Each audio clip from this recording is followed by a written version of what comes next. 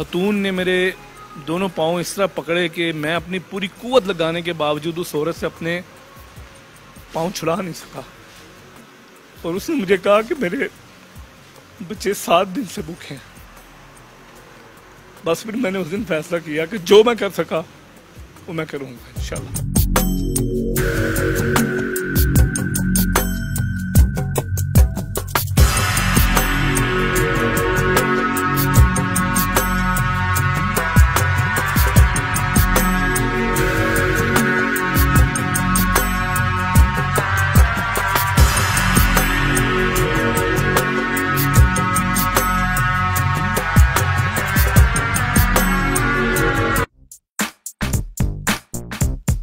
वालेकुम नाजरीन, आप देख रहे हैं उर्दू पॉइंट, मैं हूँ फारूक शबाज बड़ाइच मैं आज आपकी ऐसे पाकिस्तानी से मुलाकात करवाने जा रहा हूँ, जो इतना बड़ा काम कर रहे हैं कि आप भी सुनकर हैरान रह जाएँगे।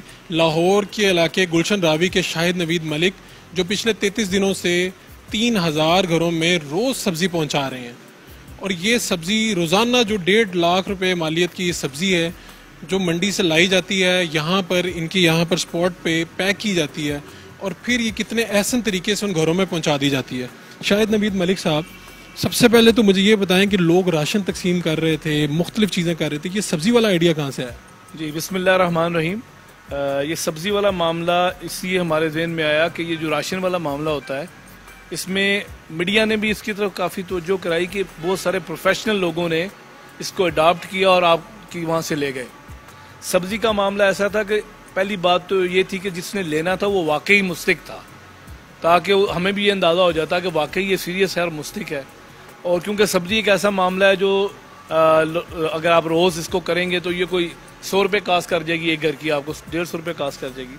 तो हमने पर, सबसे पहले खुद गए हम सब कच्ची वादियों के अंदर लोगों का डाटा इकट्ठा किया लोगों से मुलाकातें की लोगों के हालात देखे और ख़ुद फैसला किया कि ये इतने लोग हैं कि इनके अंदर तकसीम की जाए। जब वो तकसीम शुरू हुई तीन सौ से तो फिर लोगों की एक जो है वो रजू हमारी तरफ़ होना शुरू हुआ। तो उस रजू से फिर वो बढ़ते बढ़ते वो तीन हज़ार तक पहुँच गया हमारा।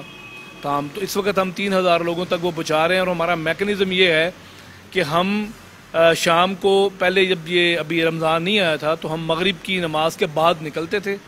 और ये हमारी टीम है जो तकरीबन दो सौ अफराद के ऊपर मुश्तमिल है, जो जिनकी हमने ड्यूटी असाइन की हुई है कि वो वो अपने हिस्से के उठाते हैं और लोगों के घरों में बचाते हैं। ताकि हम मगरब के बाद निकलें।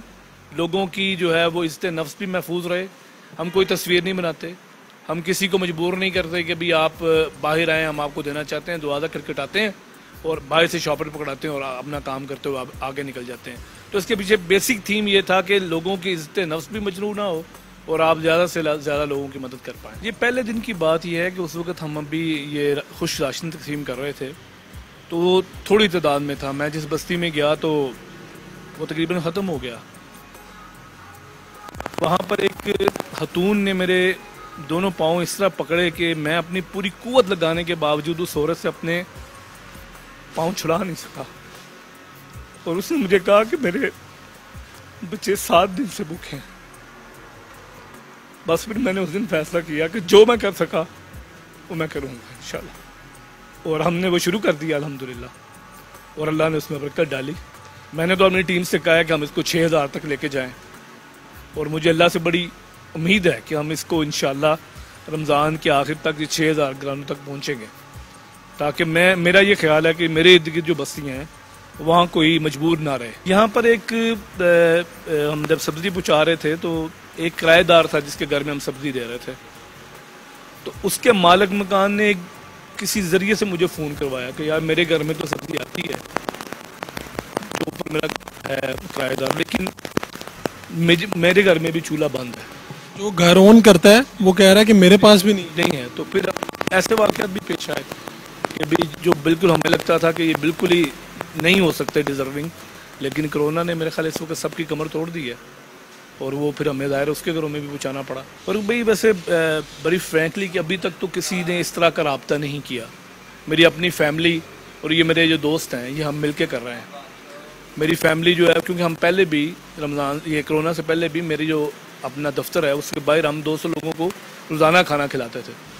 तो हमने उससे डिवर्ट किया है सारे मामले को इस तरफ़। रोज़ाना का ये हमारा मामूल है। हमारी वालदा को फोत हुए चार साल हो गए। चार साल से हम ये काम कर रहे हैं। तो हमने इसको कन्वर्ट किया है ये सब्जियों के ऊपर। ये मैंने अपने भाइयों से मशवरा किया तो उन्होंने कहा, जी, आप करें। ये दनान खड़ा है, मेरा छोटा भाई है। इसने मुझे पहले दो दिन कहा है कि भी ज़रा खौफ बहुत है और वो है। मैंने कहा, यार, अगर ज़िंदगी अल्लाह ने जितनी दी है, वो तो उतनी ही। आप जितना मर्ज़ी बच के निकल जाएँ तो मैंने फिर इन सबको हिम्मत दी है और हम सब लगे हुए हैं। मुझे वैसे कभी खौफ नहीं आया इस बात का कि मुझे शायद ये कोरोना हो जाएगा तो मैं मर जाऊँगा। मुझे कोई ऐसा खौफ नहीं आया अभी तक। और मुझे लगता है कि अगर मैं इस रास्ते में आ गया और अल्लाह ने मुझे कबूल कर लिया तो इससे बड़ी सादत कोई नहीं होगी मेरा ख्याल है कि हमारा ये अज़म है सबका कि जब तक ये लॉकडाउन है तब तक इसको चलाएँगे, चाहे जो मर्ज़ी हो जाए। तो इन इसको चलाएँगे। अल्लाह करे, ये कल ख़त्म हो जाए। अल्लाह ताला इस वबा को हमारे मुल्क से ख़त्म कर दे, दुनिया से तक ख़त्म कर दे।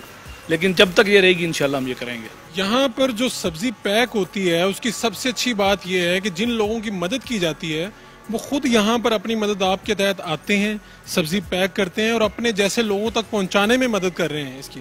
बाजी आप मैं आपसे ये पूछना चाह रहा हूँ कि आपको इन लोगों ने आप तक सब्ज़ी पहुँचाई? कौन सा जज्बा है जिसने आपको मजबूर किया कि आप खुद आए और सब्ज़ी पैक करने में इनकी मदद करें? वो हमारी मदद कर रहे हैं हम उनकी मदद कर रहे हैं। एक दूसरे की मदद के साथ चल रहे हैं बहुत दुआएँ दे रहे हैं कि ये हमें सब खाना पहुँचा रहे हैं हर चीज़ पहुँचा रहे हैं उनके लिए दुआएँ मिल रही हैं। तो साड़ी गरीबी अगे ही। तो सानू इमरान खान ने सारा कोई लुटाता है साढ़ा। कोई नहीं बहुत अच्छा है ਬਟ ਸਾਡੇ ਵਾਸਤੇ ਨਹੀਂ ਅੱਛਾ ਹੈਗਾ। ਸਾਡੇ ਵਾਸਤੇ ਸ਼ਾਨ ਸਾਹਿਬ ਅੱਛਾ ਜਿਹੜਾ ਸਾਨੂੰ ਰੋਟੀ ਦੇ ਰਿਹਾ, ਖਰਚਾ ਦੇ ਰਿਹਾ ਸਾਨੂੰ ਉਹ ਬਹੁਤ ਅੱਛਾ ਬੱਚਾ ਹੈ। ਅਸੀਂ ਤਾਂ ਬਹੁਤ ਭੁੱਖੇ ਮਰਨ ਡਿਆ ਤੇ ਨਾ ਕੋਈ ਕਾਰੋਬਾਰ ਆ ਤੇ ਨਾ ਬੱਚੇ ਵੀ ਵਿਹਲੇ ਫਿਰਦੇ ਨੇ ਪਿਆ ਤੇ ਆਪ ਵੀ ਘਰ ਬਕਾਰ ਹੋ ਕੇ ਬੈਠੇ ਬਹੁਤ ਅੱਛੇ ਸਾਡੇ ਨਾਲ ਸਲੂਕ ਕੀਤਾ ਸਾਨੂੰ ਅੱਛੀ ਤਰ੍ਹਾਂ ਨਾਲ ਸਬਜ਼ੀ ਦੀਏ ਵੀ ਲਓ ਜੀ, ਘਰ ਬੈਠ ਕੇ ਸਭ ਮਾਵਾਂ ਭੈਣਾਂ ਪਕਾਣ ਤੇ ਖਾਣ। बहुत अच्छे बच्चा है साडा। यहाँ इसलिए आए हूँ भाई बहन भूखे हैं इसीलिए हम सब्ज़ी पैक करते हैं वो हमारी मदद कर रहे हैं हम उनकी मदद करें और एक एक बंदे तक हम पहुँचाएँ। 300 घरों से सब्ज़ी जो पहुँचाने का सिलसिला है अब पहुँच गया है तीन हज़ार घरों तक। लाहौर के रहायशी शाहिद नवीद जिन्होंने ये काम शुरू किया वो ये चाहते हैं कि घरों तक सब्ज़ी भी पहुँचे और किसी की तस्वीर भी ना आए किसी की इज़्ज़त नफ्स भी मजरू ना हो। और उनका ये पैगाम है कि शिकवा जुलमत शब से तो कहीं बेहतर था, अपने हिस्से की कोई शम्मा जलाते जाते। अपने मेज़बान फरूख शबाज बड़ाइज को इजाज़त दीजिए, अल्लाह ने